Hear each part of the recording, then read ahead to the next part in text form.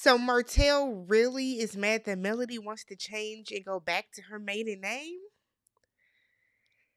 I feel like he's just mad because that's like his last tie to Melody. That's his last tie to her, but it's I ain't never heard of a man being mad that after a divorce that you caused for the the, the ex-wife to want to go back to her maiden name. Hell, even Ike Turner said the name stays home. The name stays home. Ike didn't want Tina to keep using that Turner. I guess, Martell. I guess. Whatever. What's good, y'all? Welcome back to the channel. I'm Tammy. This is Tammy Talks. Let's talk Love and Marriage Huntsville, Season 6, Episode 23. Hold her accountable. Y'all see the lampshade here. Be sure to subscribe to the channel. Thumbs up the video or thumbs it down if you don't enjoy it. And then hop into the comment section, y'all. Let's talk about everything that happened. So, we start off with Kiki, back where we were as of last week, with Melody popping out with this this drug test that she got from the dollar store. Okay, so Kiki says she's not taking a drug test unless Marsau takes a lie detector. Now we all know that's not gonna happen. Like um Melody said, we know that Martell's I mean Marsau is not gonna do that. Amen even said Marsau is not gonna do that. So Kiki agrees that she's gonna take the test so that she can shut up the haters, you know, quiet down everybody because I'm sober. And I said, I, you know, hey, I mean, I don't, I don't know. Kiki says she's sober, she's sober. The test says she's sober, she's sober. So she takes the test, she comes back, and everything comes back negative. So Melody is reading it around, reading all the the different drugs, and it's like weed, heroin, cocaine, crack, uh, methadone. I said methadone. Wasn't Kiki just on methadone a couple weeks ago with her husband? But y'all know that methadone apparently, what what I've read, what y'all have been saying in the comments, methadone is a drug that is used to wean people off of harder drugs. So her husband was saying, I mean, has we we saw the scene where he didn't want Kiki to even take the methadone. So maybe Kiki has started to wean herself off of it. I don't know. Y'all were in the comments saying that Kiki took fake pee and I'm talking about the comments on Twitter that Kiki probably used fake pee and she she fooled the drug test. Why is it so hard for y'all to believe that this lady might be sober? Maybe she stopped doing the methadone. We we don't know. But these this this test came back. So I guess Kiki went and squatted behind Melody's car and took this test. Not I mean, hey, she went somewhere and took the test. So Melody mentions that Tiffany told her about their son going to a different school um and said that you know it's a little shady that she would even bring that up. So apparently Amen and Kiki's son, I think this his name is Amari, is going to be a senior in high school. He either does baseball or football, and it must be something that coincides with what Tiffany's kids play. So Amen is saying that Tiffany is just upset that Amari is leaving that team and going to a, a, a, school that probably has a stronger program where they're hoping he can get a scholarship for college. Tiffany said that it's shady what they're doing. Kiki said, We're not going to do nothing shady with our kids. And our man even piped up and said, with the, the type of caliber of athlete that their son is, they, they would never jeopardize something like that with his, you know, with his future. So they said that they're just mad that he's just leaving the team that her kids play for. So we then get a scene with Tisha and Marsau. So apparently they're packing. They're going to the beach for five days. Marsau said, We can't go for five days. Now he tries to disguise it as if we have all this work being done, or is it that y'all feel like you can't afford it, Marsau? Let's not forget, Marsau wants to get used furniture too. So if you have to get used furniture to furnish your newly renovated house, then a five day vacation. But hey, hey, who are me to judge, right? Whatever. So it's for Mila's birthday. She want to go to the beach, so damn it, we're going to the beach. So it then pivots to Kiki. So Marsau said that he should have handled himself a little better, but he's proud of the way that Tisha handled Kiki, Tisha says she's done. She said this is this has become a cycle now. This is a revolving door. I have to be done with Kiki. You know, Tisha feels that she was assaulted. Is getting a drink thrown on you assault? I, I guess. I guess you can consider it assault. Sure. If Tisha feels assaulted, Tisha was assaulted, right? So he then mentions the situation with Stormy. And Marsau feels like a lot of us feel. Stormy knew good and damn well that you cannot call a man a bitch It's not normal. Some of y'all tried to get in the comments and try to play semantics and all this type of stuff. It's not normal. It's not okay. The average man is going to be offended by being called a bitch to his face by a woman. Y'all know that.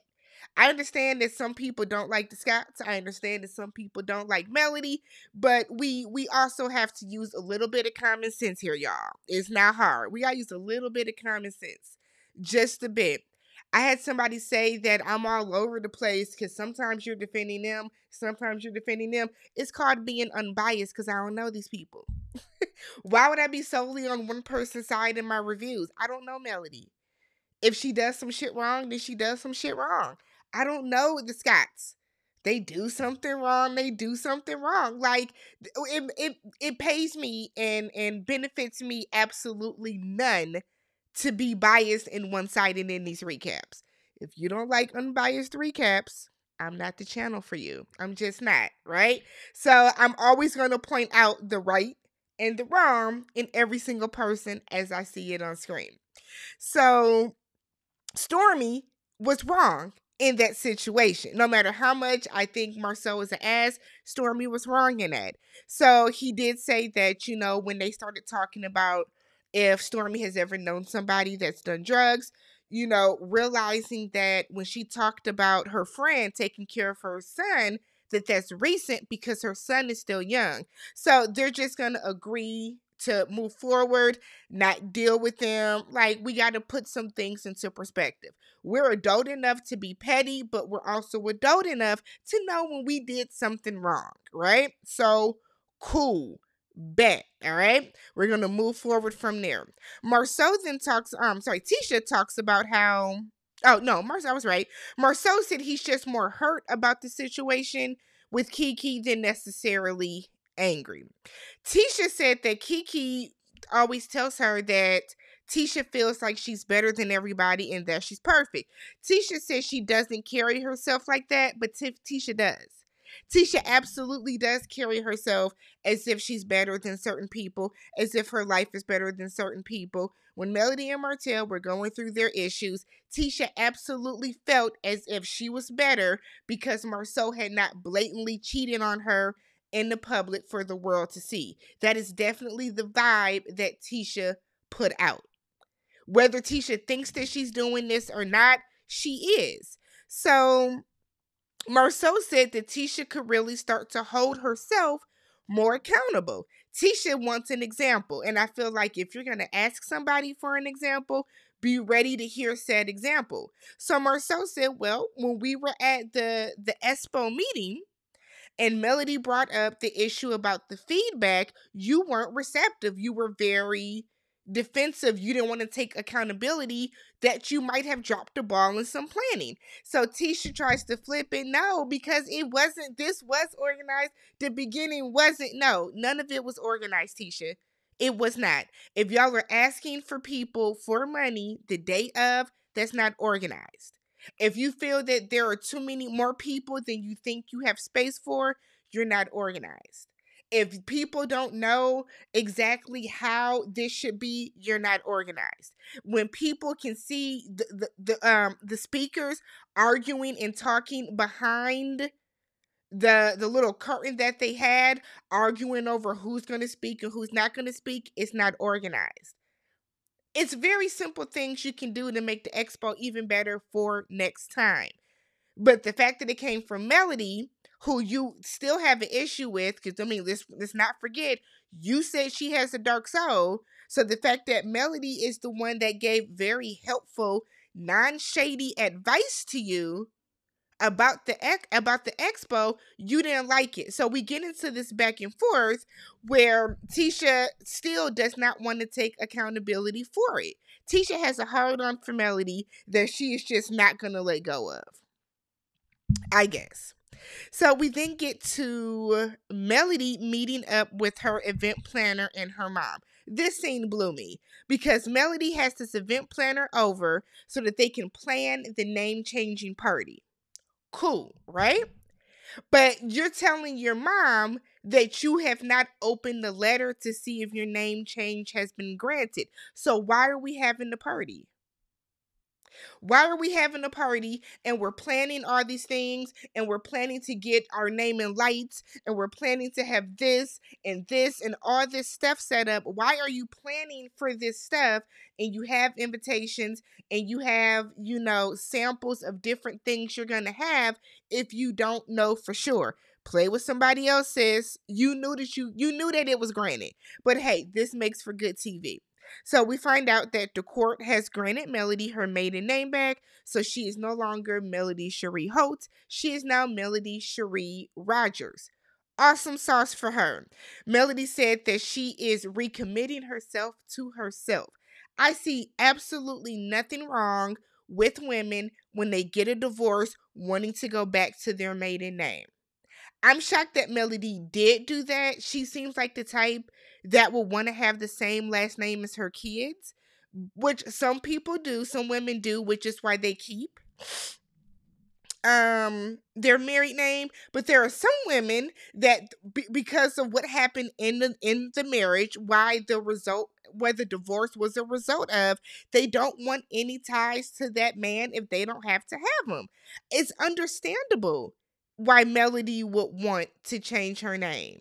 It is wild to me how many fans and how many people were on Twitter during this episode, like shading her for wanting to change her name back. Who y'all let y'all hatred for some of these people just kind of overshadow like common sense, I guess. I don't know. She wants to change her name. She want to change her name. She's not married to him anymore. Fine. So we get Stormy. Stormy goes over to Kiki house. I'm so sick and I'm asking Stormy why they moved. Is that common? I've had friends that have moved to different houses and stuff like that, uh, different apartments, townhouses, condos. I have never once been like, "Why you move?" You moved. Okay, this is nice. You like this better than the old one. I, I guess it's just not a big deal to me. I really don't care why people move usually, but they're asking, why did she move? So, once again, we hear that her son is going to play sports, whatever the case. Kiki apologizes for snatching the cards out of stormy's hand um, at the barbecue.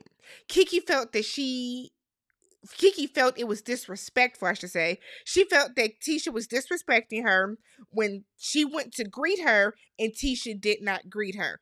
I, I mean, is it disrespectful? That's subjective. Do I think that Tisha could have just been like, hey, and kept on going like that? Yes, she could have too.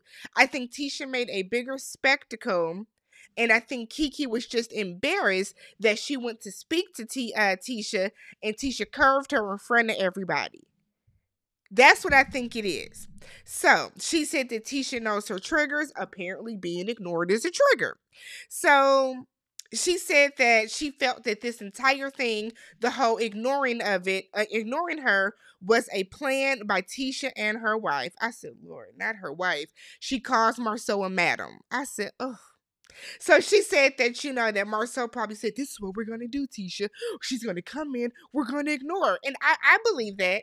I wholeheartedly believe that. I do believe that Marsau told Kiki, um, told Tisha when Kiki walks in, ignore her ass. We're not going to talk to her. We're not going to engage because Tisha was doing a lot. While Kiki was talking, Tisha was, oh my God, Maurice, Reese. And I feel like when somebody is doing something like that, you're trying too hard. The way my ignore game is so strong, the way I can ignore people with the best of them, I have been in the same room as people that like know that I'm ignoring them and have ignored them so smooth, so clean, it's not even funny. So Kiki said that Tisha looked stupid for standing by Marsau arm in arm. Here's the thing. Does Tisha look stupid? Or do you look stupid for being upset that Tisha wants to stay with her husband? Tisha want to be with Marsau. Let her be with him. Let her be with him. I don't understand why people outside of that marriage care. Nobody should be that offended or should care that much that Tisha does not want to leave Marsau. If she wants to stay willfully ignorant with her husband in this marriage, let her. Let her. What's it to you? People were in the comments saying that well it's because you know she's she's lied about different things and and we know that he's cheating uh, uh, who cares I go to sleep every single night. I wake up and go to work every single day, and my life has not changed, nor will it ever change because of the fact that Tisha wants to stay married to her husband. so I don't see why Kiki cares either. So Kiki said that she really came ready for Tiffany because she's tired of hear- hearing that Tiffany has her name in her mouth all the time, which she kind of does. I feel like Tiffany is like searching for a storyline. And so the fact that Kiki was on the Crime Stoppers, Tiffany saw that and was like, bet. I'm gonna grab onto that and I'm gonna make another beef with Kiki so that this is what I can talk about outside of the fact that, you know, nobody seems to film with me. One, because you really don't get along with anybody. We don't see, we hardly see Tiffany. Why is she in the intro still fake? You know what? If the show comes back, face Tiffany out. Face Tiffany out. Tiffany's just not needed on the cast anymore. So apparently, Tiffany did an interview with Carlos, and she was saying about how she's much better than Kiki and she doesn't associate with people like that, yada, yada, yada. So Kiki said that she's more educated and she's smarter than Tiffany. To, to, I think Kiki like works at a college or she's like a college. I don't know if she's a professor. She might be, but she might be a lecturer. K- Kiki's educated, just like Tisha's educated. Uh, Kiki just is an ignorant ass somebody. That's basically what it is. But it, no, no part of me thinks that she's not educated in the least. So she then said that Tiffany has been talking crap about Stormy's products. Stormy said that she heard her is not worth getting into about it. It's not worth the blow up. She's gonna wait for Tiffany to say it to her face. But right now, it's no need for her to get real rah rah about it. We then get Melody, Tisha, and Kimmy. So they're going to work out. Tisha gets there and she's on, like, she has bad energy immediately. She has a little attitude. I'm a person that if you're going to have an attitude, don't go. You know what I mean? Like, don't come in being the bad news bears and now you giving everybody else the blues because you have an attitude. Like, I feel like this is just one of those scenes where it's on the call sheet, and damn it, Tisha, you have to show up. So she gets there, and Mel is like, okay, something's wrong with her. Kimmy come in with her Jeep stunting on them. And immediately Kimmy clocks that Tisha has an attitude. And Melody was like, she was like this with me too. I don't know what the issue is. So this lady comes out, this older woman that's gonna do like different stations with them to work out and Melody tells uh the woman that you know Kimmy has like some health issues, so her breathing is not like the best. Kind of on some. Don't have her in here doing no real hard hit, you know, workout. So that lady had two t-shirts. Why? Why did you only have two, ma'am? You knew it was three ladies coming. So she gives it to Melody and Kimmy, because I guess she said, if y'all gonna be on TV, I want y'all to wear my shirt. We can see it on you, sis. But hey, they put it on and participated. So when they're done, Kimmy was saying how like her breathing isn't the best. This was hard. And they're asking her, like, is your breathing gonna get better? Kimmy said she went to the doctor and she failed all the breathing tests. And the doctor told her it's not gonna get better, but Kimmy is determined to get her breathing back to where it is. So Kimmy's a nurse. I'm sure Kimmy knows the different strength tests and stuff like that she can do. I know a lot of times when they need you to work on like your breathing or your breath strength, they have you blow in that thing, you know, the little tube and the little ball or whatever jumps up. So I'm sure uh, Kiki, uh, Kiki must be talking about me.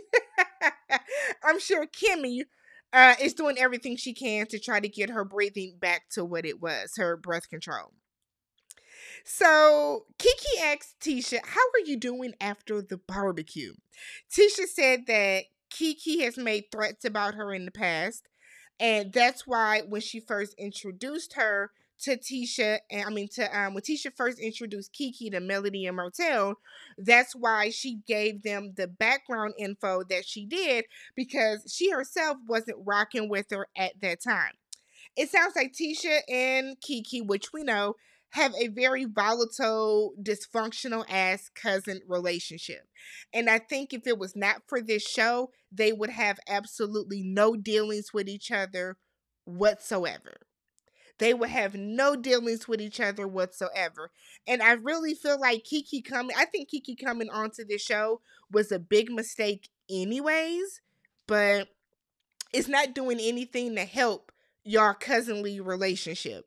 So Tisha's um is saying that that's why she just does not want to be around her anymore. So Melody asks if she th- still thinks that Kiki is doing drugs. Tisha says she knows she is. She knows the signs. Family members have said that Kiki is still asking for money. Now, I, I just, I don't know if. Here's the thing. I don't know if Kiki is lying or if Tisha is lying. That's the thing. Um, because it's very easy for Tisha to get online or get on this show and say all these different things. And because Kiki has a history of drugs, everybody's going to very quickly believe it, right? To me, as I've said before, I don't know, you know, I don't I'm I have never been around somebody that's on drugs like that to be like, yeah, she acting like she's on drugs. Kiki be seeming like she's fine to me. She just seems like she's messy as fuck. That's what I get from Kiki. I know a lot of y'all said, well, she's talking fast and her eyes are shifty and all this other type of stuff. I don't be staring at these people that hard when I watch the show to like notice that her eyes are moving back and forth. So I don't know, but I think it is very easy for Tisha to get on here and say, yeah, you know, family members have said Kiki's still going around asking them for money, and Kiki did this and Kiki did that, when it kind of seems like Kiki might just be the outcast of the family, too. You know what I mean? Like, there's always that one cousin that is kind of the outcast of the family, and it's because they want to stay in Tisha's good graces because Tisha and Marsau have the money in the family. But who knows? So, Melody asked if anything happened before the barbecue. And Tisha's like, I'm getting ready to go. I don't want to talk about this. And it's like, here's the thing Tisha had that conversation with Kiki about whether Marsau was cheating or not, that whole debacle. Tiffany, I mean, not Tiffany, uh, Tisha doesn't want to talk about that on camera, right? It's very clear, which is why she didn't meet up with Kiki at her house because she didn't want it filmed and she doesn't want to talk about it now, which is why she doesn't want to mention that they did have a conversation that probably did go left in regards to talking about Marsau, quote unquote, allegedly cheating with somebody. So Tisha said that she knows that they what they talked, but she just, you know, there was no issue. It was fine. So Melody is like, Well, I did talk to Kiki, and Kiki does feel bad about what happened, but Kiki feels bad about the fact that you ignored her. And Tisha was like, That's not it. It's more than that. And Melody is like, Are you sure nothing else happened? Because, and then Tisha gets up, walks away, says she's fine. She's not dealing with this. I'm going to the beach. And she leaves. So Melody's talking to Kiki, um, Kimmy and she's like, there's really, I think Tisha's not okay with it. Obviously, she's not. um Tisha is going through, you know, this whatever with her cousin. She's embarrassed she got the drink thrown on her. She's probably pissed she got the drink thrown um thrown on her. On top of the fact that she probably whether Tisha's ever going to admit it on camera or not, all of these allegations against Marsau is weighing on that woman. Because nobody wants to hear constantly that their husband is cheating on them. It doesn't help that Marsau jokes about it. It doesn't help that Marsau goes on trips to Africa by himself. It doesn't help that Marsau ups and does all these different things. That's not helping anything. So I'm like, it's weighing on Tisha. She don't want to keep talking about it. But in the same vein, Tisha constantly talked about Melody and Martell when they were getting a divorce. Tisha threw that shit in Melody's face almost every chance she got. This is karma. This is a karmic response. Tisha is always talking and asking somebody if they've dealt with infidelity and what happened and all that type of stuff. We saw her do it the first five seasons. This is damn near the only season that Tisha has not sat up there and brought up the fact that Martell was cheating on Melody, or that Melody's uh, marriage failed, or that this person is cheating on this person. But now she's just asking everybody, Have you dealt with cheating? Have you dealt with infidelity? That's what she's doing now. It's weird. It's weird and it's karma. But Tisha is never going to admit on camera that she might sort of possibly somewhat in the back of her mind question if Marsau is or has cheated on her. She's not going to do it. So the final scene, or before that, Tisha says in her confessional that she is assaulted and she was assaulted, and Melody doesn't understand no means no, and Tisha, neither do you. We have seen many a scene where you have brought up something and because it doesn't affect you, you have continually talked about it and talked about it and talked about it. But the fact that you're in the hot seat this season, or this, you know, uh, season six, part B, the fact that you're in the hot seat because of this expo and all this other stuff, now no means no. No means no didn't mean a damn thing when you were doing that to other people the first five seasons, though. Y'all are on reality TV, people are going to talk about things. So the final scene is Martell showing up to Nell and Chris Fletcher's house. So he has some wine for um, a dinner party. They talk about how Melody didn't speak to Martell at the barbecue. I don't understand why that's a big deal. It really is none of your business either, either Nelle. So Martell said he's going to keep speaking to her. Nell said, I told her that she could have at least spoke. Martell said, yeah, because she speaks everywhere else. She didn't want to speak to you. I feel like that's not a big deal. That's not a big deal. I based on when this was filmed, I felt like this is the time that you were dragging her into court because you were trying to get full custody of them kids too. Or this might have been around the time when you were trying to, you know, threaten her with revenge um with revenge porn. This might have been around the time when you were on uh, social media calling her everything but a child of God in your Instagram story. So I don't understand why Martell thinks that he can talk shit about somebody and drag them and do all this other stuff. And just because you say hello, they're supposed to say hi back.